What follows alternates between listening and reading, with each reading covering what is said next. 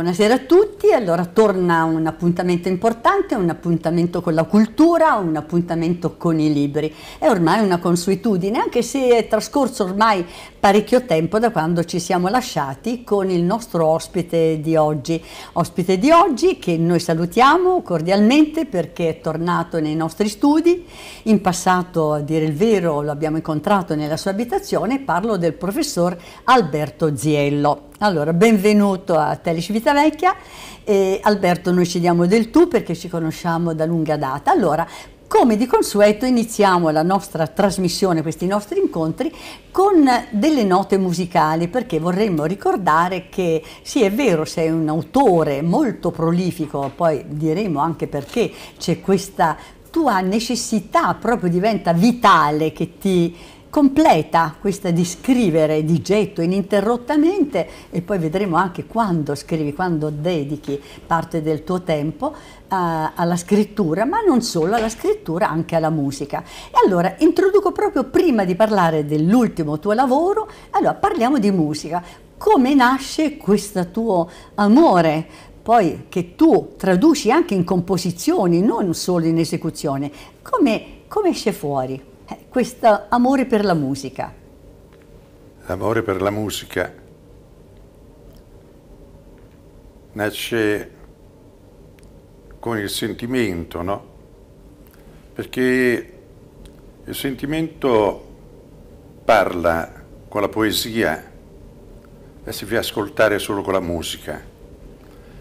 E non è detto che bisogna essere poeti o musicisti per far sì che il nostro sentimento raggiunga gli altri attraverso la melodia. È la melodia stessa insita nel sentimento quando è sincero e quando è onesto che precipita nei cuori degli altri e si fa conoscere come sentimento puro, pulito, bello. In altri momenti chi può trasferisce questo sentimento attraverso un'attività dialogica rappresentata dai versi, cioè dalla poesia e dalla musica. Quindi parla la poesia e si fa ascoltare attraverso la musica. Questo è stato sempre l'elemento fondante della mia esistenza. Io ho amato la musica fin da bambino, anche se dal punto di vista tecnico all'inizio mi era stata vietata per il semplice fatto che dicevano che la mia mano destra non poteva reagire in maniera giusta con il pianoforte. E io invece ho dimostrato che quando si vuole si può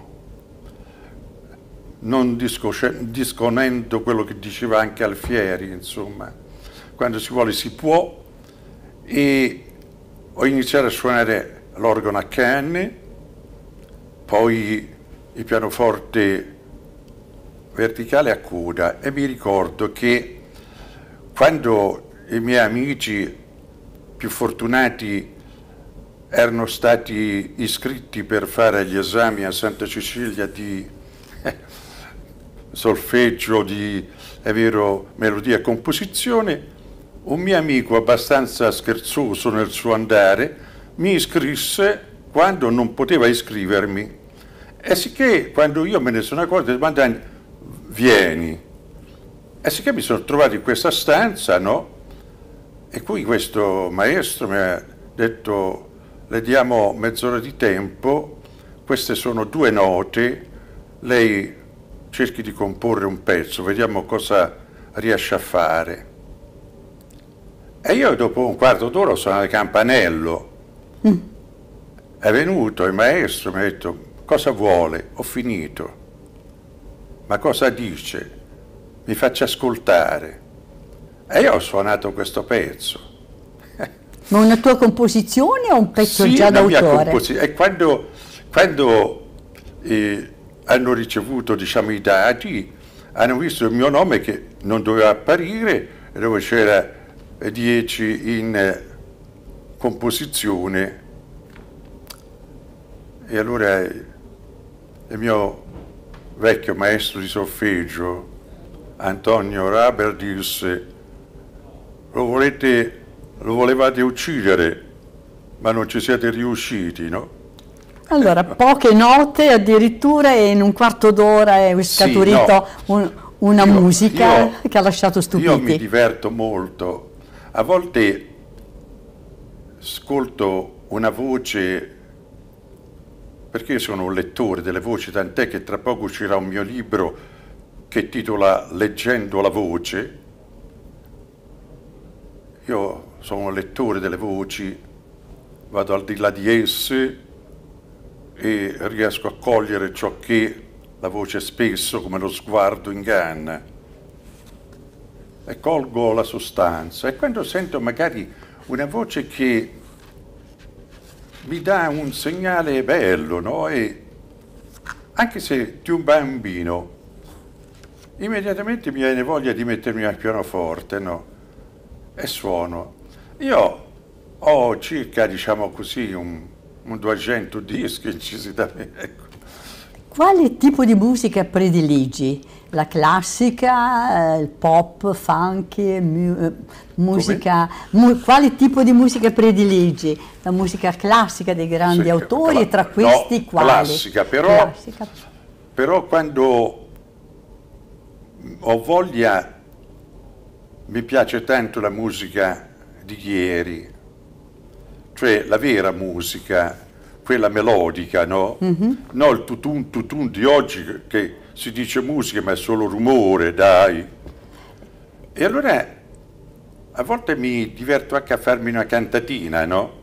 Ah, quindi conosci anche sì. le canzoni più popolari? Eh, eh sì. Eh sì. e a che epoca Capita, risalgono? No? E quindi le grandi canzoni, le, le grandi, grandi melodie italiane, napoletane, napoletane eh, certo. Ma anche quelle più vicine a noi, dell'80, del 90. Eh? Mm-hmm.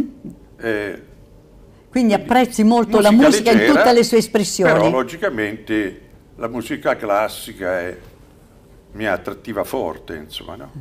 Beethoven, Chopin, in modo specifico, Schumann, no? Beh, eh che sono stati anche dei grandi pianisti, diciamolo, certo, che compositori. Stein, eh, eh? eh? certo, uno sono dei, grandissimi. Uno, uno, dei pochi, insomma. Vabbè, o dei tanti. Abbiamo eh. avuto anche tanti, anche eh. nostri, eh, che sono stati dei grandi anche esecutori. Allora, bene, quindi la musica anche come ulteriore espressione di sentimenti che travalicano naturalmente l'esperienza personale, ma si rivolge anche agli altri. Quindi da te parte poi la necessità di di esprimerti, quindi di non fermarti alle emozioni che ti dà la musica, la lettura di poesie, di romanzi, ma anche la necessità di tradurre queste sensazioni che tu provi e magari anche inventare delle situazioni particolari, sì. perché diciamolo, uno dei tuoi generi prediletti sui quali ti esprimi continuamente con una capacità innovativa eccezionale, diciamolo, è quello del giallo, eh, il, no? delle situazioni un po' ai limiti del delitto, del, comunque dei reati. Allora, ecco, come nasce questa esigenza eh, di tradurre, perdonami, leggo in um, piccola introduzione Ora... a tua firma, in un, uno dei tuoi ultimi, ultimi libri, Accidenti, accadde tutto all'improvviso. Ebbene, c'è scritto, questo mio ultimo lavoro, pur essendo prodotto della mia fantasia presenta aspetti così aderenti alla dura realtà della vita da lasciare il lettore nel dubbio nell'apprendere una vicenda che sa più di cronaca giornalistica che frutto di immaginazione. Bene, quindi ecco quanti di questi contenuti che tu trasferisci nei tuoi lavori, nei tuoi libri, è frutto della fantasia ma anche delle tue letture, quanto tu segui quello che accade giornalmente anche sui quotidiani? Ma prescindere che io al mio attivo avrò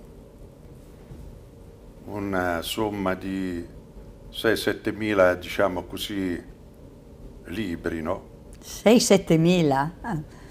Che di vario, di vario indirizzo e tra gli altri anche la giallistica, no?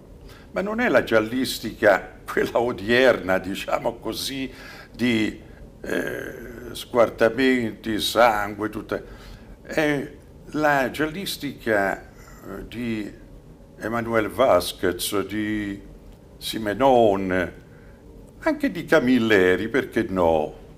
Ah, certo, ricrea e, alcune situazioni molto interessanti. E anche di Corn Cornwell, che scrive abbastanza bene anche trasformandosi in una figura italianizzante come la famosa scarpetta. No? Ecco.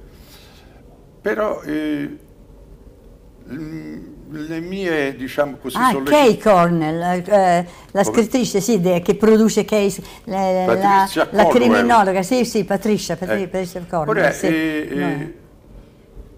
le mie stimolazioni non è che nascono da ciò che leggo, sarebbe assurdo, no? Nascono invece da istanze che vengono dalla realtà esterna. I fatti dell'attualità che impressionano e spingono su certe riflessioni che poi s'ancorano a quel grande prato verde che è la fantasia, no? Che si diverte poi ad essere attraversata da una immaginazione galoppante. E quando si è nel silenzio, tranquilli, senza che qualcuno ti calpesta la testa dal piano superiore o ti disturba con mm, rumori strani, io sono tranquillo lavorando di notte nella mia casa in cui tutto è antico. Le mura sono di 60 centimetri, intorno c'è tutto giardino e non sto a contatto con nessuno, sto solo a contatto con me stesso, col mio silenzio, con il mio buio e con la mia solitudine. E questo ti aiuta, ecco, questa... E lì nasce l'istanza per poter scrivere. Io, quando comincio a scrivere, ho una spinta immediata. Scrivo una pagina, poi lascio andare. Ma quando mi siedo e rileggo quella pagina, non è che devo pensare, continuo a scrivere come se i personaggi che ho indicato stiano accanto a me e mi dettino. Ecco perché i miei libri, anche se sono espressione di fantasia, amano il giusto rapporto con una realtà anche se cruda. I libri gialli, ma i libri gialli che io scrivo sono fondati su fatti che accadono ogni giorno. Quanto ti colpisce ecco, scrivo... la storia quotidiana, la cronaca, quanto ti coinvolge? Ecco, perché certo, praticamente parliamo... Certo, certo, mi fa riflettere, però non è che io sviluppo un atto della cronaca nel mio libro, no, ho un'istanza che poi regolo secondo ciò che mi nasce dentro. Cioè, quando io scrivo assassinio all'alba, non è che ho letto qualcosa che riguarda un fatto del genere, ho pensato a magari un personaggio dell'altro ieri, non so, che magari mi hanno raccontato un fatto, un'esistenza e immediatamente la inquadro e automaticamente impegno su quella persona un fatto che non è poi lontano da quello che potrebbe, no che è, ma che potrebbe essere la realtà.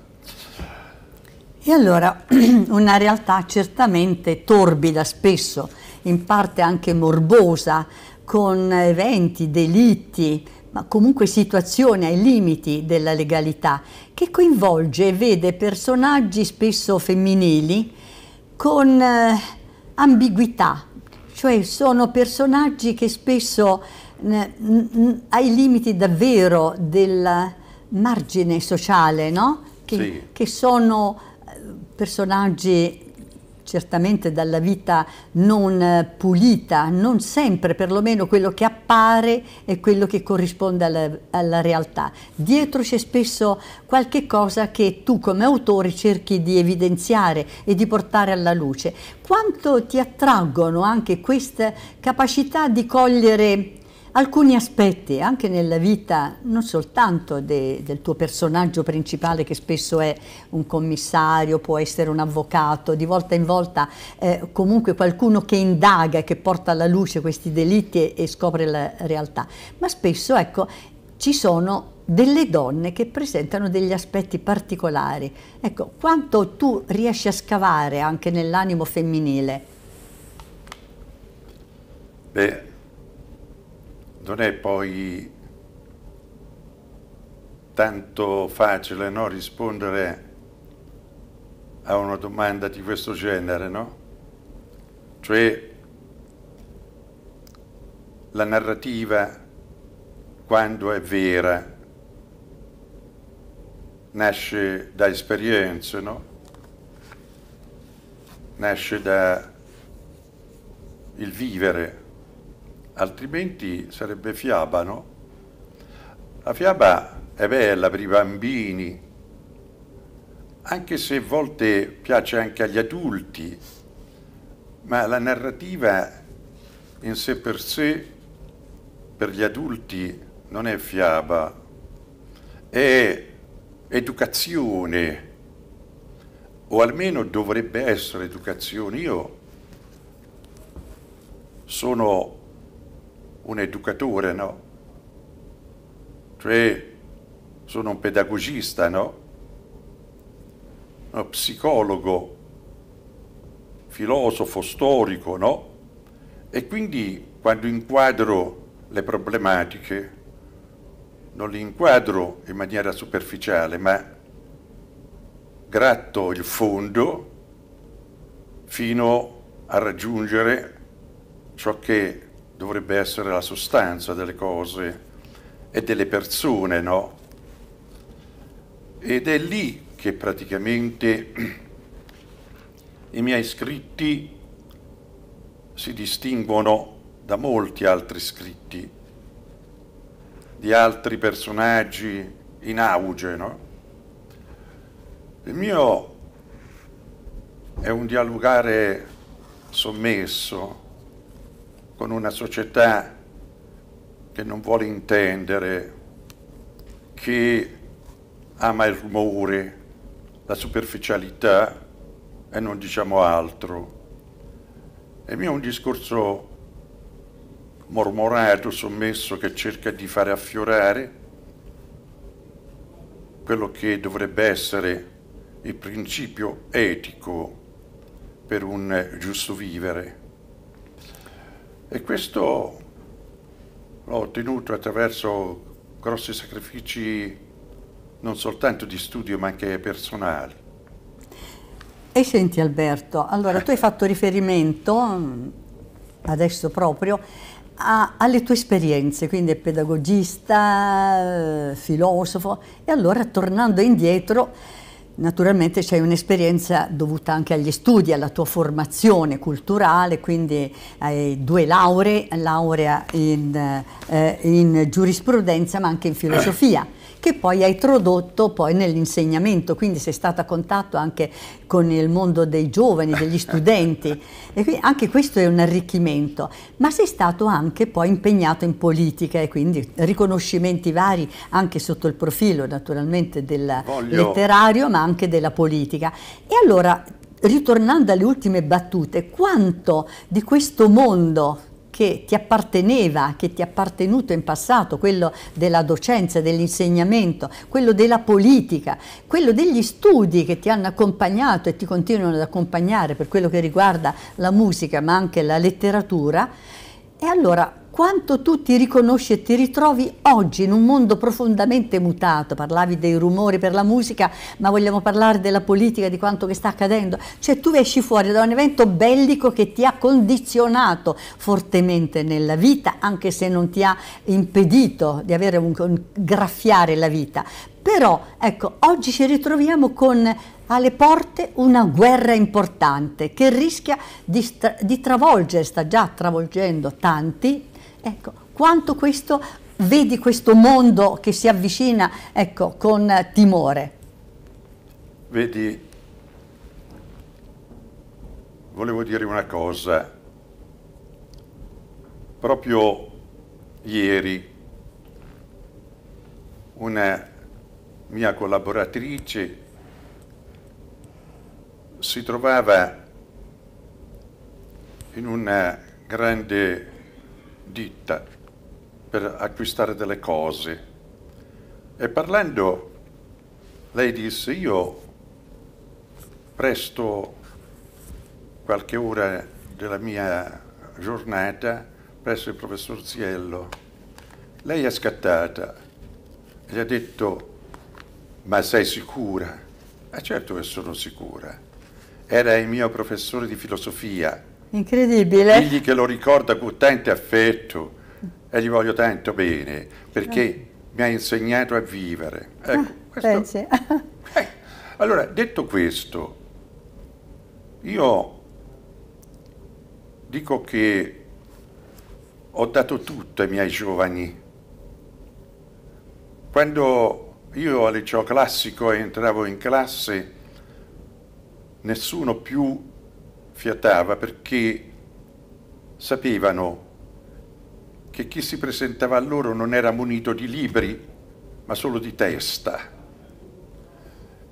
E i loro appunti, che prendevano attraverso quel che dicevo io, poi gli servivano di scambio con i loro colleghi di altre sezioni, con i quali scoppiavano molte liti perché lasciamo perdere. Quando io, Emanuele Kant, in 15 giorni l'avevo insegnato perfettamente ai miei ragazzi, ma non sul piano formale, ma sul piano sostanziale, le altre sezioni mettevano tre mesi, punto. Hm. Allora,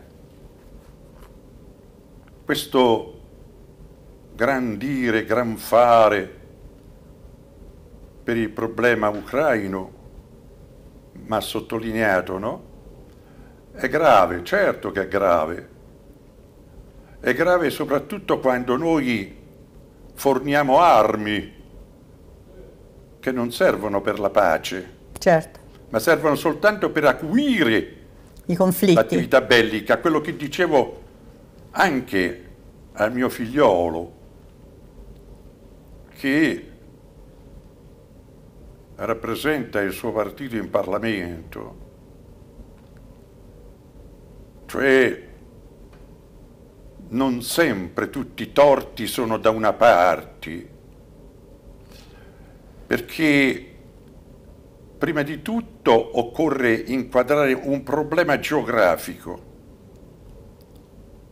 dopodiché vedere in questa geografia cos'è che si muove da lontano. Parliamo di imperialismo, di, di crimine, criminalità, certo, ci mancherebbe. Laddove, laddove l'uomo si scaraventa contro l'uomo è crimine, d'accordo. Però chi dovrebbe adoperare il termine criminale non dovrebbe essere un criminale, perché prima di dire criminale ad una persona bisognerebbe guardarsi dentro e vedere se per caso criminali prima non lo siamo noi. guardiamo lontano, guardiamo lontano, vediamo un po' Hiroshima, Nagasaki, vediamo, vediamo, il Vietnam, vediamo, vediamo gli aeroporti militari che ci sono in tutta l'Europa, le, gli stanziamenti militari in tutta Europa, che vengono da lontano. Allora, il discorso storico, il primo imbroglione fu Tacito, che per farsi foraggiare dal suo imperatore scriveva bugie dal punto di vista storico. E noi abbiamo purtroppo una montagna di storici che non sanno veramente parlare di storia, dare la vera storia. E noi abbiamo bisogno invece della verità. Tante verità, nessuna verità. La verità è una sola. La pace non si ottiene con la fornitura di armi, ma col dialogo. Si ottiene non schiacciando le libertà altrui. Non si ottengono stringendo in un pugno d'acciaio un intero popolo. Ecco, allora, io sono un professore di storia, però sono onesto. Ai miei ragazzi non gli ho insegnato mai, di, hanno fatto questo, hanno fatto questo. Gli davo i documenti e poi dicevo, discutiamone assieme. E questo è importante. E siate voi a giudicare, non io gli fornivi gli strumenti per il giudizio oggettivo, obiettivo. Ascolta, beh, ci ha portato un po' lontani questo eh beh, discorso. Eh no, è, è stata una domanda. Eh certo, certo, ci ha allontanato, ma era eh, no, non abbiamo detto nulla che è andata al di là dei binari. No, no, assolutamente, allora? perché partiva dalla considerazione che tu oggi eh, testimoni anche il tuo lavoro in solitudine e con l'ascolto della musica, ma che in ogni tuo libro tu parti e dici un evento bellico lo priva della vista. Cioè, allora partiamo bellico. Lo porto sulle mie mani. Esatto, allora quindi lo conosco io, eh. mentre gli altri esatto. parlano e non lo conoscono. Esatto. Non hanno visto i cadaveri come ho visto questi occhi uscire fuori dalle macerie di Civitavecchia. Non hanno visto le mitragliatrici degli aerei che abbattevano mentre io bambino correvo verso Allumiere, bambini, donne e uomini, no? Certo, certo. Poi Bengala, no? E mitragliavano questa gente che cadeva a valanghe davanti ai miei occhi di bambino, no? Lasciamo perdere. Appunto per questo ho voluto storia, eh? dirti, se questo, certo, ma proprio per questo dicevo quanto quello che sta accadendo poco oltre i nostri confini quanto sia grave. Poi certamente le ragioni del conflitto, del perché sono scaturiti, se si potevano evitare, se si possono ancora evitare, ci portano a un discorso molto lungo e approfondito. Invece torniamo un momento ai tuoi ultimi lavori, perché poi non abbiamo parlato né di accidenti, accadde tutto all'improvviso, né l'altro lavoro. Allora, di che cosa trattano queste due ultime novità letterarie? Ecco, quanto si differenziano tra loro nei temi, nei personaggi e nel molto, raccontare. Molto. C'è tra la letteratura di ieri e oggi c'è un baratro. Io mi permetto di dire che molta parte della letteratura odierna, non tutta ci mancherebbe,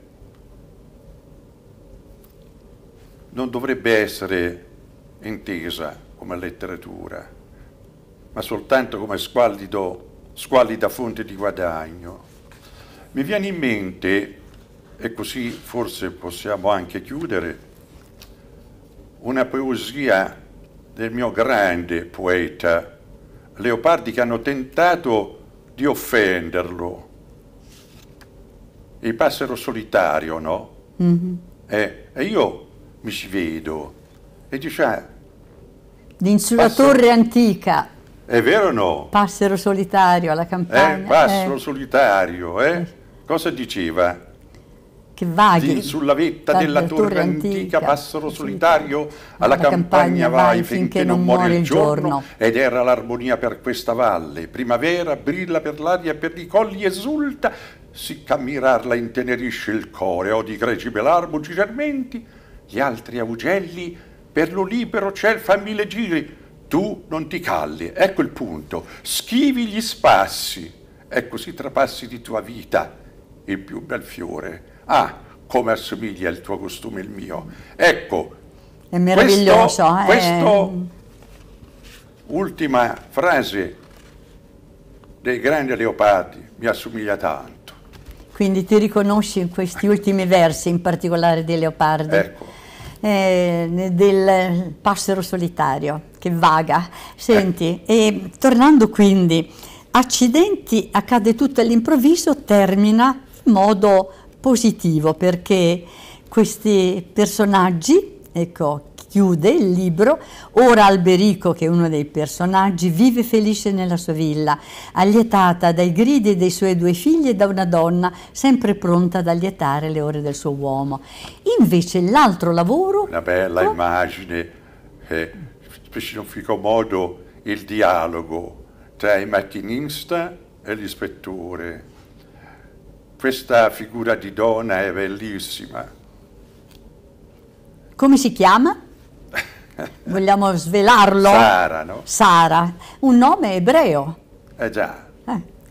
Ti ha ispirato qualche eh, ragione di aver scelto eh, Sara? Un, un una, una, bellissima figura di donna e che si è fatta uccidere pur di non